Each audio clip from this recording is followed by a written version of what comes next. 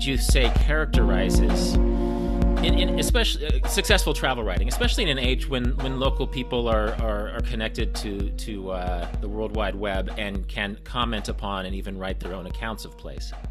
I would say it's the human element. It's if you can find out in a in a, in a travel book the human element, the um, the the human factor, the the flesh and blood of a place anatomizing or, uh, or, or describing the people who actually live in a place, what their lives are like, what their stories are like, what their past has been like, then if you can get at that, it, it's who lives in this place. Not take Hong Kong. Uh, I, I mean, you go to Hong Kong, it's it's a, it seems like an impenetrable city, very vertical, very tall, very dense. I mean, it, it's one of the most uh, densely populated uh, cities on Earth.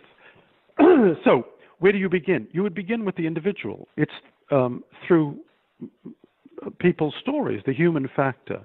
One of the great books about India is um, Naipaul uh, wrote three books about India: An Area of Darkness, A Wounded Civilization, and a book called A Million Mutinies.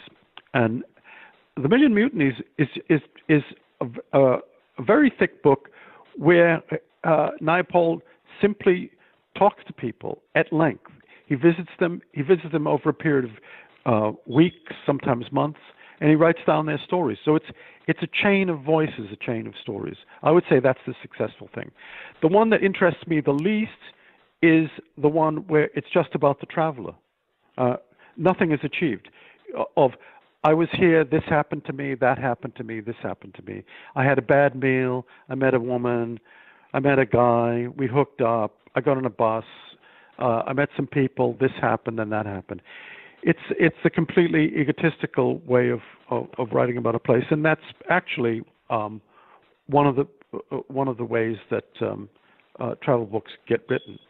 The only successful, or the, the only way that that's ever interesting is when the individual story, the person telling the story, is uh, the subject of an ordeal and when they, uh, of of a person being um, tested uh, through an ordeal, an adventure, something difficult, and succeeds at the end of it, uh, finds um, uh, finds his or her way home.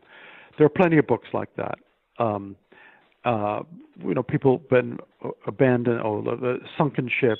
Um, or uh, Lost in the Wilderness, or you know, Wilfred Thesiger, Wilfred Thesiger wrote a, a great one about um, Arabia, Arabian sands, just how difficult it was to ride through it, the, all the awful things that happened. Well, that's forgivable then, but but but someone, just an American, having a bad meal, and then going on and you know having a a uh, a, a phony ordeal, a fake ordeal. I, um, I describe this in um, in the Deep South book, a mock ordeal.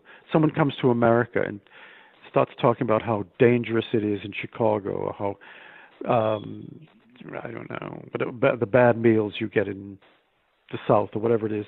I listed the uh, uh, the books. They're often written by English people. Eng- the English people come to America and they write about a, um, you know how strange we are. It's like being on the moon, and you think, well, where has this person been? And, ha- and has this person traveled much in England?